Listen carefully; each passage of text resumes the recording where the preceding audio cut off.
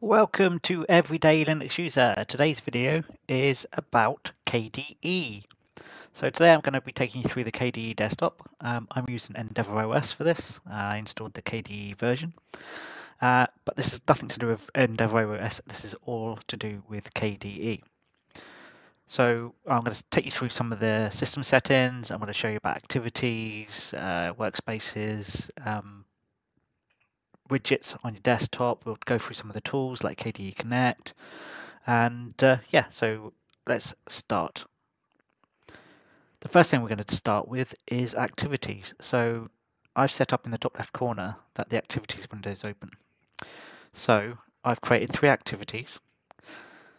Uh, and before we start that, um, I'm sure many of you already know, but in Linux you have this concept of a virtual workspace. So you can see I've got a workspace here, and if and this is the only window I've got open, which is OBS, which is used to record uh, the the video. So I, I, can have that app over here, and then over on the second tab, I can have Kdenlive.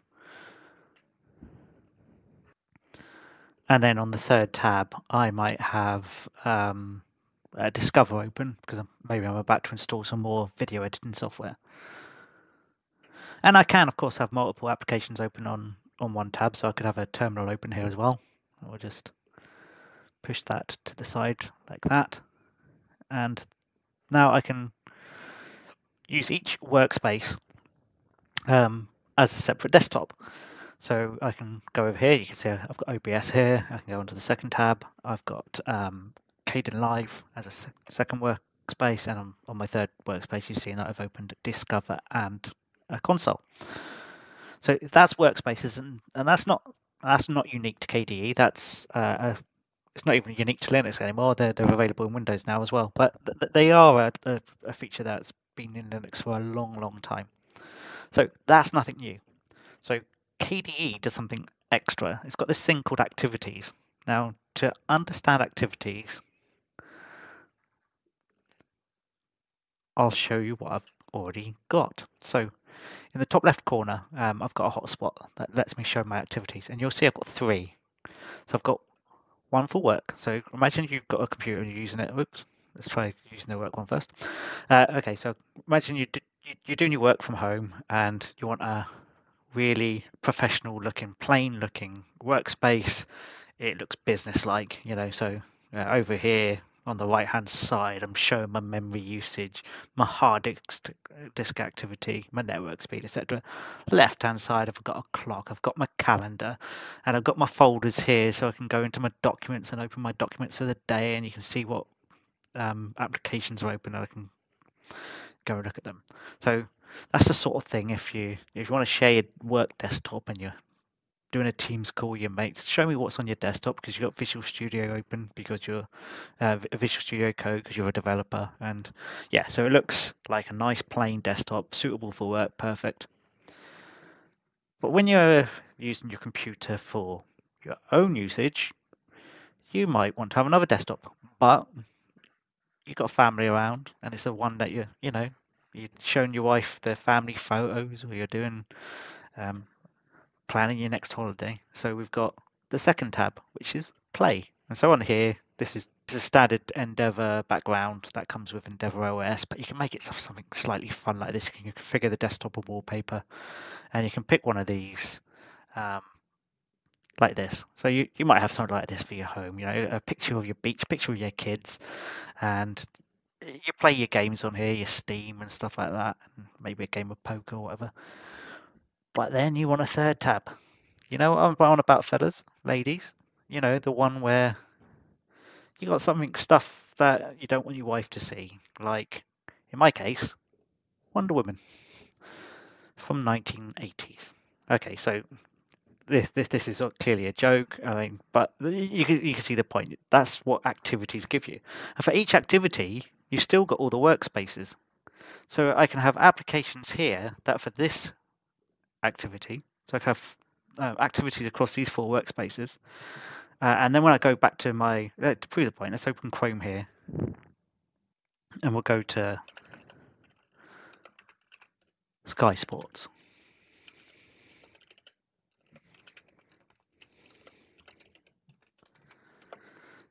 So you, you're on the Sky Sports website, you're looking at the football scores sneakily, you're supposed to be working. You know what it's like.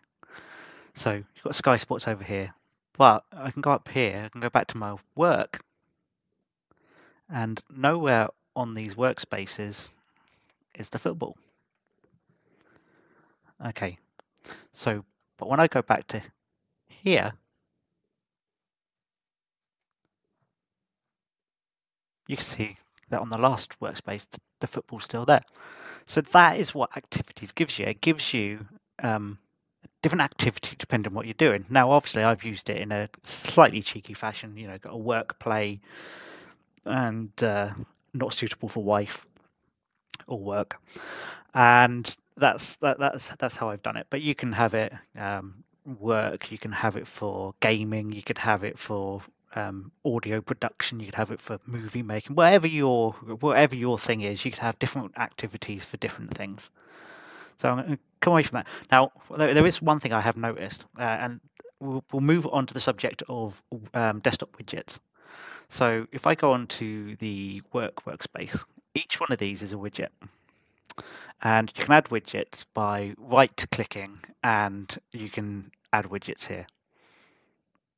Okay, so uh, there's a, a, load of widgets here um, that you can choose from. Uh, so I've got a digital clock. So at the moment I've got an analog clock. Clock. So let's add a digital clock in. If I can find it again. There you go. And you right click, enter edit mode, and then you can drag it around. You can make it bigger. And then you can configure it so you can choose to show background or no background. And you can configure the clock. Uh, so at the moment it's showing the date, uh, it's not showing seconds, so I can do show seconds, apply, and then you can see it's now showing seconds. Uh, you can change your regional settings, you can choose short date, you can choose long date, so long date is like that. Um, yeah, that's that's every widget's got their own configuration settings, and you can choose whether to show the background or not. But not all of them enable you to hide the background, etc. Some of them don't. Uh, clearly, the clock doesn't have a background, therefore it's not showing it. Uh, the, the analog clock only lets you show uh, second hands or a time zone. If, So if I show the time zone, it shows where I am in the world. Um, and that's what a widget is what you will notice is I've got this widget down here and this shows all open windows. So anyone spot the problem here?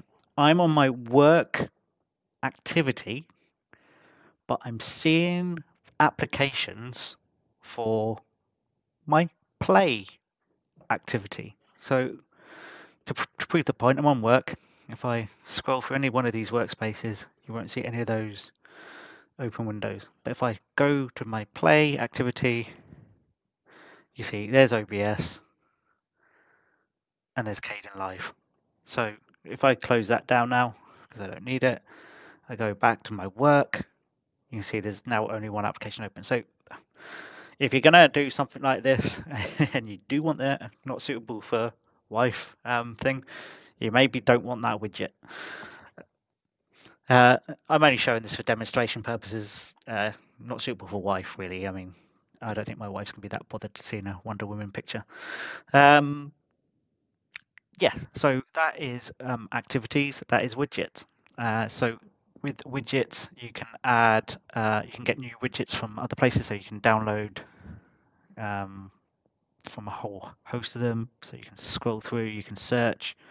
Uh, what, what do we want? Stock picker or stock checker maybe. So there we go. We got Yap stocks or we got stock charts. And so let's try and install one. So you just install one. You see it's got ratings, so you can see how other people feel about them. So now to add that to my thing, I go to widgets and it should be here somewhere.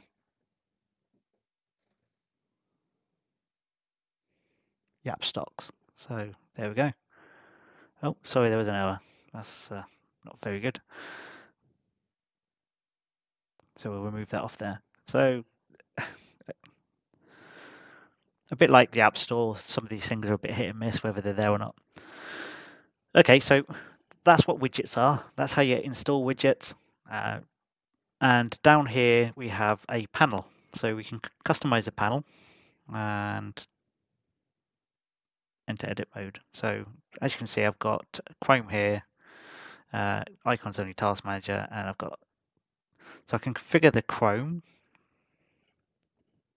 So that basically tells you about the application and you can change permissions and stuff like that. But what I could do is I can move, if I enter the edit mode again, I can move that along so it's at the end. Or I should be able to.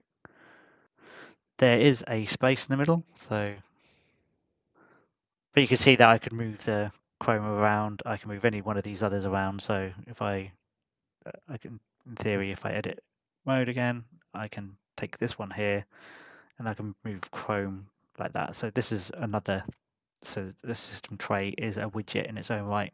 And you can see the the items that appear within the system tray and it lets you amend. So in this case, microphone shown when relevant, network shown when relevant. So it, it depends on what you're doing as to whether it's shown or not. You can change this so it's always shown, always hidden, and that's how that works. So you can see I've got two of these virtual workspace things, so I don't really need that one. So I can actually enter edit mode and I can should be able to remove it like that. Um, what if uh, one one panel is not enough? Well, you can actually configure the panel in its entirety. So you can see I can drag the panel to the top. I can squeeze it like that.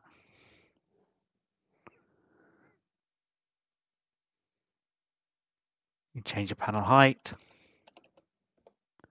like that to make it smaller. Or I can just do that. But obviously now that looks ugly, so I need to rearrange it and put it back to what it was before. So we'll make that 44 again. Uh, enter edit mode, and we're going to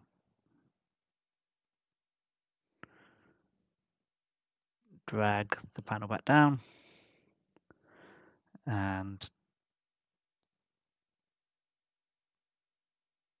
we seem to have, have lost quite a bit of stuff here. Hold on. Ah. You can see it's easy to get into a mess. So you can, if you want, remove the panel entirely.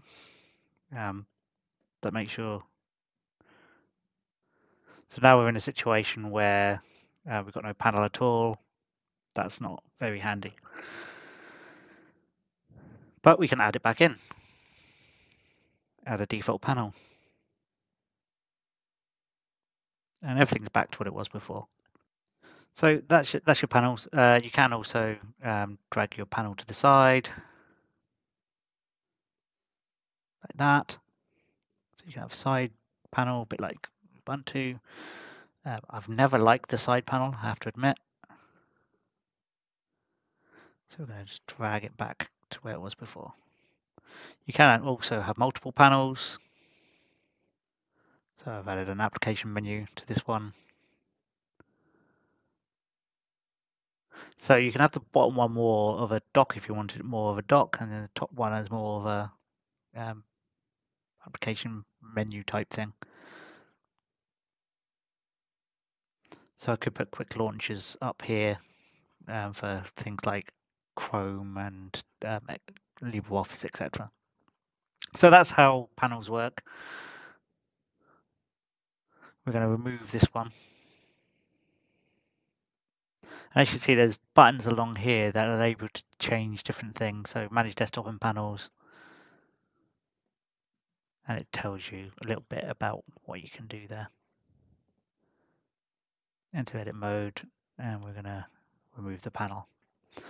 So we're back to what we were before. So interestingly, if I change the panel on this one, no, we're not going to do that.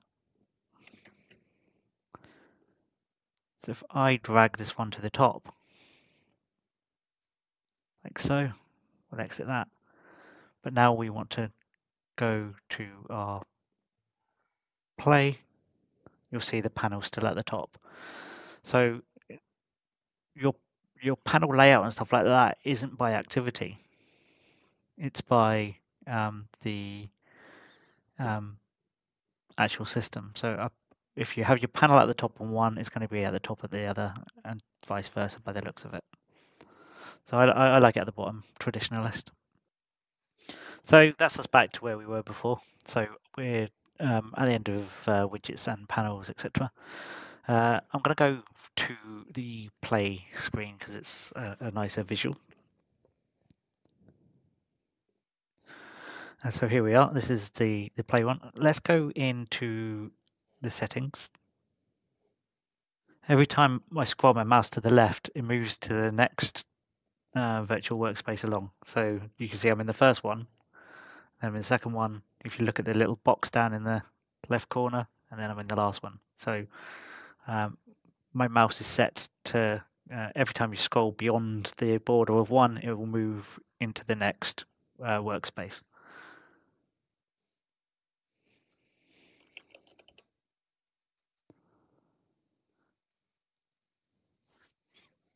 So here we are, system settings, and uh, this is how you can configure some of this stuff. So at the moment I'm in dark mode, you can turn it to light mode. Uh, I've had to turn off compositing because the um, OBS doesn't like uh, compositing very much uh, in KDE when you're using Wayland. So light mode. I know a lot of people don't like light mode, but um, trust me, if you're colorblind like I am, it's a godsend. Uh, I, will put it back for those of you um, who prefer not to be blinded by the dark uh, by the light. Uh,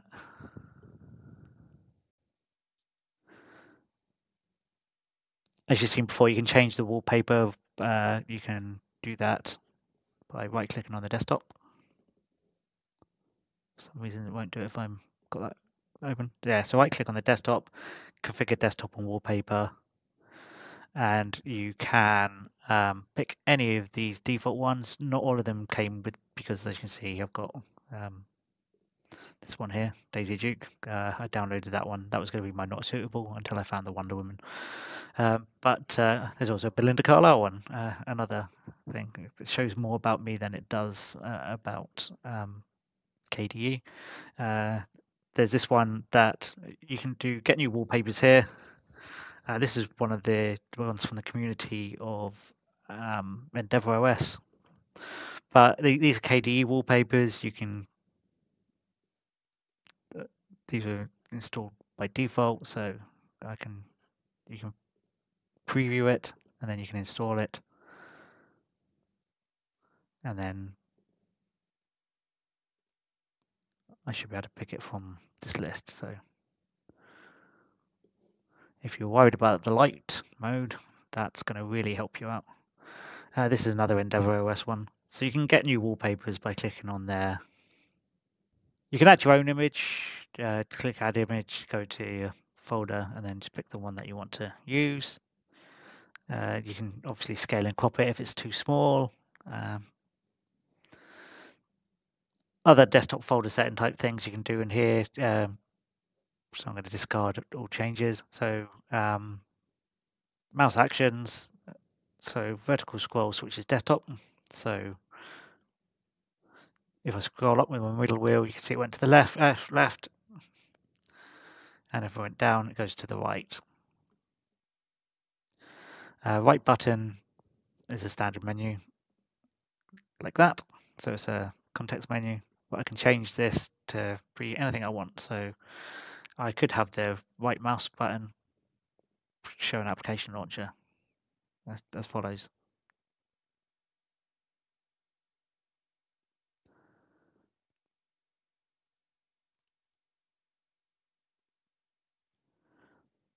You can add more actions.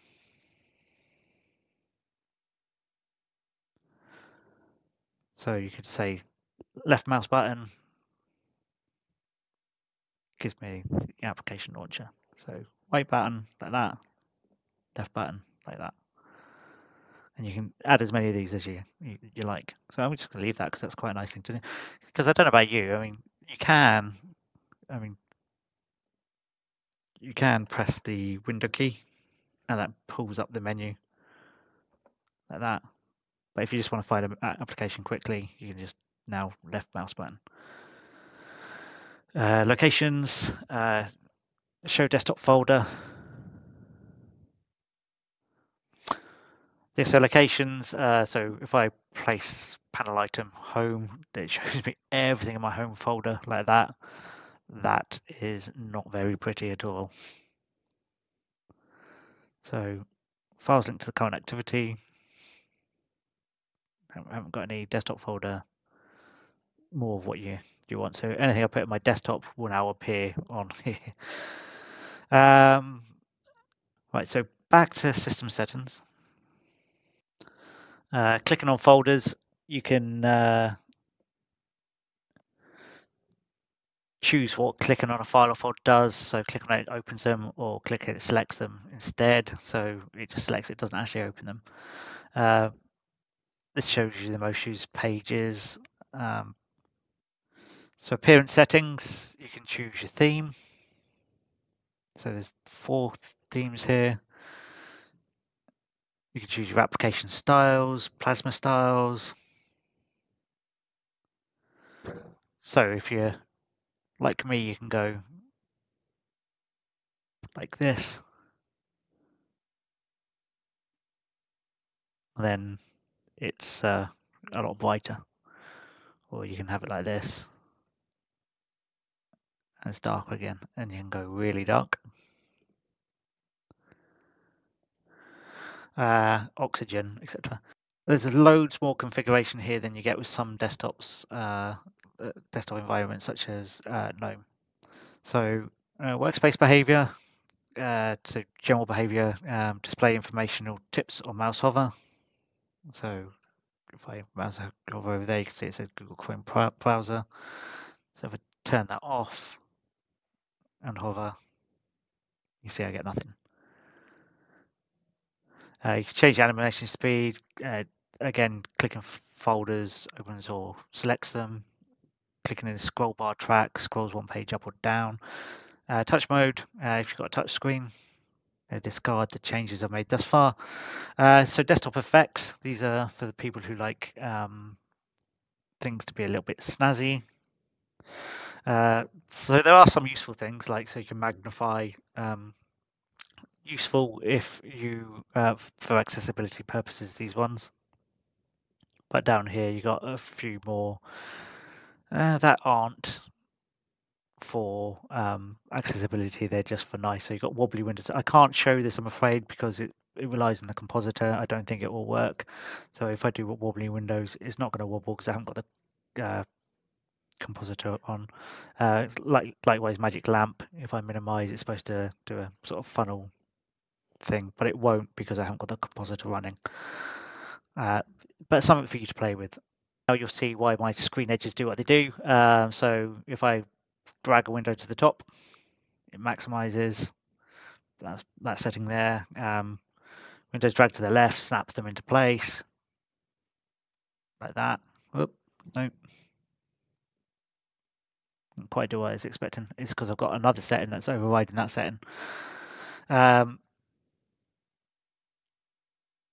switch deck desktop on edge always enabled so I can disable that so that now when I snap that to the left it's actually going to snap and you can see that I'm no longer when I go to the left or right I'm no longer switching desktops uh, you'll see I've got these hotspots here so I've got uh, this one here it shows activity manager so that's why you get the activities up here I've got this top right hand one is set to present Windows for desktops. So if I show, uh, it's quite possible that it's because the compositor's not on. It's not able to show the all desktops. That's that's what that will be, uh, which is disappointing because uh, that's quite a good thing to show. So here we are again. So um, yeah, as you can see, you can set these to do different things. So I can use the right one to show lock screen, show KRunner, uh, do an overview, toggle window switching, etc. So you, you can set these as hotspots. Uh, I'm going to leave that one set. Um, when I put the compositor back on, it will work. Uh, touchscreen gestures, same thing. If you have touchscreen, but you can use your finger to uh, on on the screen.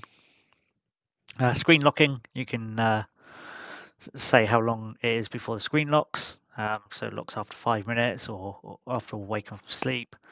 Uh, uh, allow unlocking with password for five seconds. Um, it's up to you whether you do that. You can lock the screen with um, the Windows key and L or Meta as they call it, and you can change the appearance of the lock screen. Um, so you can pick any one of these. So I could pick Belinda Carlisle. That'll upset my wife. There we go.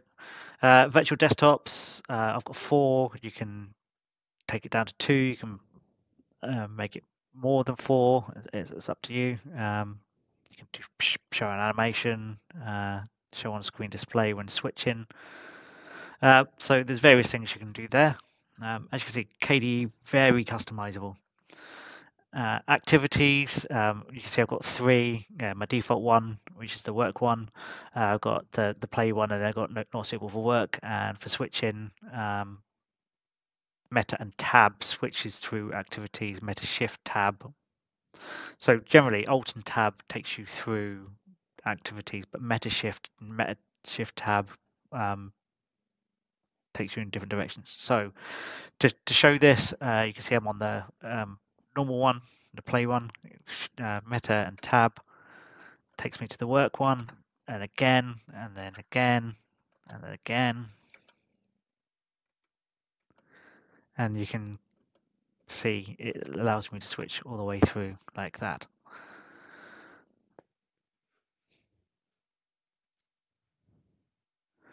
And then you got your recent files as well. Uh, window management. Uh, uh, you can change how windows behave. Window activation, click to focus. You can have various things here. The window follows the mouse. Uh, focus follows the mouse. Uh, focus is under the mouse, etc. Toolbar actions. So double click, maximize. You can also have it horizontally or vertically maximize, minimize, show on all desktops. Uh, you can close it, you can do nothing. Uh, so I'm going to have it at maximize. Uh, you can change what happens on the mouse wheel, uh, what happens with left right clicks, etc. Task switching, alt tabs, alt shift tab, uh, back tab takes you through um, your different applications. And you can filter it by virtual desktops and activities, etc. for different shortcuts. So for Dolphin, um, so in Windows, uh, Windows E key opens Explorer. In KDE, it opens Dolphin, as you can see. Uh, an emoji selector, um, which is meta, and a full stop key. That's shown there. Uh, then you've got KCalc, uh, Spectacle, uh, various different um,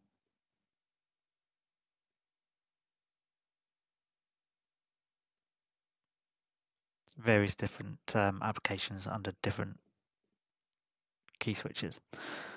Custom shortcuts, uh, K-menu edit, and Konqueror gestures, etc. you've got start up and shutdown, um, so you can change your login screen. Yeah. Uh, this allows you to choose what uh, starts up uh, automatically when you start KDE, background services. These are all the things that are running in the background quite a lot. And then desktop session.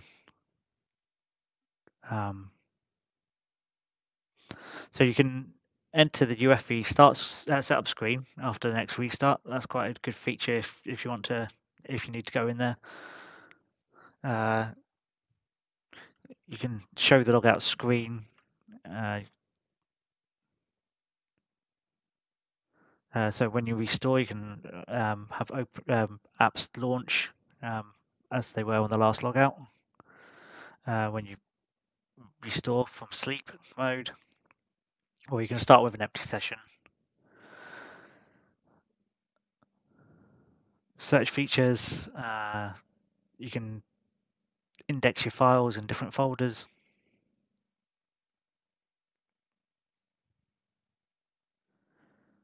Uh, you got uh, so you can choose how notifications work within KDE. So, for instance, um, you can have do not disturb mode. You can have only show me critical incidents. And you can say whether they uh, so critical no notifications show in this do not disturb mode. Do well if it's critical, you probably do want it to display. Otherwise, uh, define critical. Uh, low priority notifications show a pop up. Uh, normal notifications show over full screen windows. And you can tick and untick these boxes, and they can configure application specific settings as well. Uh, if you want to add new users, you can do that here. Um, online accounts, regional settings, user feedback, and there's all the hardware support here as well. So I want to look at the activity switcher.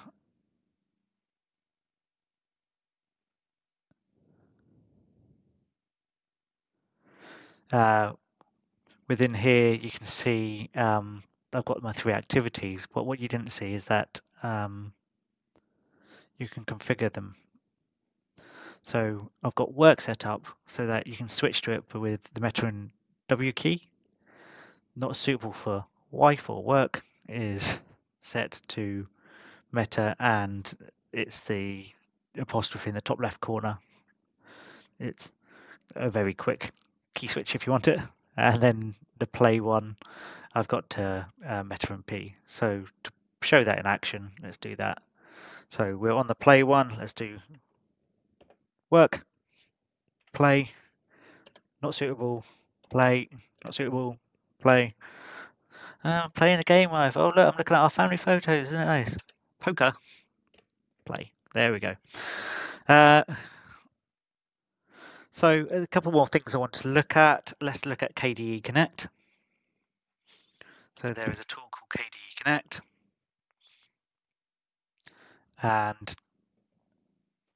you can have KDE Connect on your phone, which I have got, and I, I click that. Um, worth noting that the firewall can get in the way of this. So if I find devices, you'll see there's nothing there, and that's the firewall getting in the way. So if I go here and right click and I go into edit firewall settings, some editing firewall settings. and I need to scroll down the public here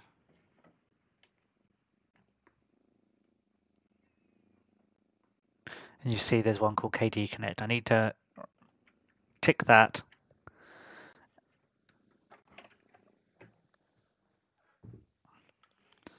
and that means now when I minimize there I should be able to go KDE Connect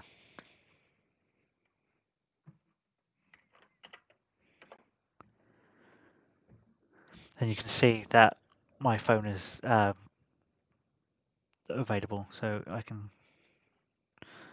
click that, click pair.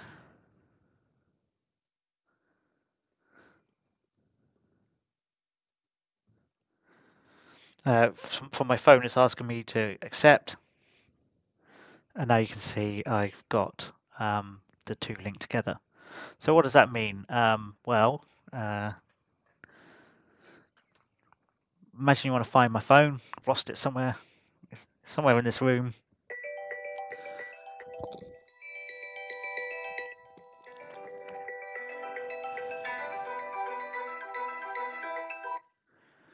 And hopefully you heard that my phone was ringing in the background. I can also use my phone to um, do some remote input. So I'm now no longer using my mouse, I'm using my phone to move the pointer around. So imagine I'm giving a presentation, I can um, use that to point at things on the screen, just using my phone. I don't have to use a mouse and try and use a mouse mat and all that sort of stuff. Uh, I can run a command. So I can, if I want to, um, I've set up um, some commands. So I can use my phone to reboot the computer. I can use my phone to unlock the screen or lock the screen. Uh, I'm going to see if this works. Hopefully it's not going to cut out the video. So if I click the lock screen here, you can see um, Belinda Carlisle's come up. And if I unlock, it comes back again. So yeah, KDE Connect enables you to use um, paired devices to interact with one another. There are other things you can do. You can share files. Uh, obviously, you need permissions on your phone to do certain things. In theory, you could send text messages and things like that. I've not tried that, and you can share files. Not tried that. It, it means setting up permissions on your your phone, and uh, I haven't done that. Okay, I wanted to show you. Um, so I'm on the KDE website now. Um, so this shows you some of the applications that come with KDE. Uh, so KDE is a fully fledged desktop environment. So it comes with absolutely dozens of different tools that make it should enable to use your computer for most things um, out of the box without having to install other software. Um, the thing I would say is it doesn't come with uh, Office Suite, but uh, these are native to KDE. So you've got a document viewer, you've got the Dolphin File Manager, which is this thing here. If my keyboard shortcut works, it does uh, Konsole, which is uh, console emulator, uh, the, the, terminal emulator. You've got a, a, zip management, Caden Kdenlive, which is what I use for video editing. You've got a text editor, screen capture, KDE Connect, which is what I've just shown you. You've got an image viewer. Uh, you've got a system monitor. Depends on the distribution whether you get it all installed or not. You get Krita, which is digital painting, uh, calculator, wallet management, uh, you can find files. They've got the Discovery Software Center. Um,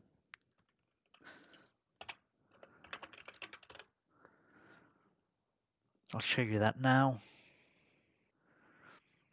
So I've got this link to Flatpak. So I've installed Flatpak, and uh, so this is a great way of finding applications. So, for instance, if I wanted to find um, Office suites, well, I could just click on the tab down here. You see th these are all the applications you can install. So Discover is a fully fledged um, package management thing, and once you link it to um, Flatpak as well, it it makes it a great application. Uh, so um, all these tools here, there's so many disk burning, compare uh, for um, doing diff showing differences between files. You've got torrent programs. You've got the music player, um, Elisa. Uh, you've got an integrated development environment. You've got games, Kmail.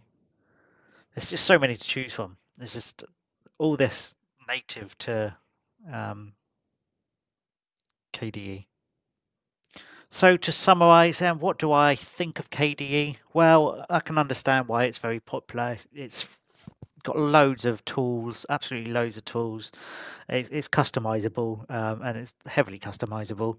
Uh, what I do think though, um, so the activities is a is a good idea. Um, I've been a little bit um, rash with it, and you could have it not suitable for husband, or you could uh, you sort these activities out the way you want to sort them out. It's um, I've, I've tried to do it in a light-hearted fashion. Uh, so the activities on top of workspaces, not only, I mean, most desktops you get the, the multiple workspaces, but to have the activities and the workspaces together, I think that's brilliant. Uh, you can customize these panels, you get loads of different widgets. I mean, I think that's great. The one criticism I have, and I've always had this about um, KDE. Um, well, there's a couple of um, criticisms, I guess. One, it's quite heavy on resources um, compared to maybe XFCE or other lighter weight desktops. It's, it's better than GNOME, and it's more. Uh, the fact is, it's more customizable than GNOME, so it hands down beats GNOME at this moment in time. There used to be a time it, uh, it never got close to GNOME, but um, I think yeah, um, is probably better than GNOME. these widgets. Let's talk about these widgets. They're a little bit blocky, are they not? Uh, yes, you can customize them, and you can make them smaller. You can make them smaller. And depending on the widget, depends what you can um, customize about them. But I find them a little bit uh, bricky. They're compared to the XFCE ones, they just don't feel. They, they feel if Disney did desktops. Uh, it's they work, but they're a bit. They just look a little bit clunky. That, that's all I would say. Um, feel free to disagree with me on that. Uh, yeah, but um, all in all, KDE is a worthy desktop environment, and I really like the keyboard shortcuts and the activities. Has to be said, it's a it's a great way to navigate your system. And the fact that you can, uh, I know you can't see it because of the compositor easily, but I can click up there and show every um, application on my um, system that's running and just click the application that I want. Uh, so yeah, it's it's good. And that is the end of the re review of the KDE Plasma desktop environment. Um, I hope that's helped some of you understand some of the um, features of KDE, what why activities are good, and that's the end of the video. If you like the video, give it a thumbs up. If you want to see more content from Everyday Linux User, uh, hit the subscribe button, and uh, thank you for watching.